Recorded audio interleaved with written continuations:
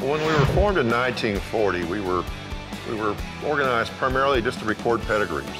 Through time, and, and primarily in the last 25 years, I would say, our business model has changed from a breed registry to a membership and marketing association.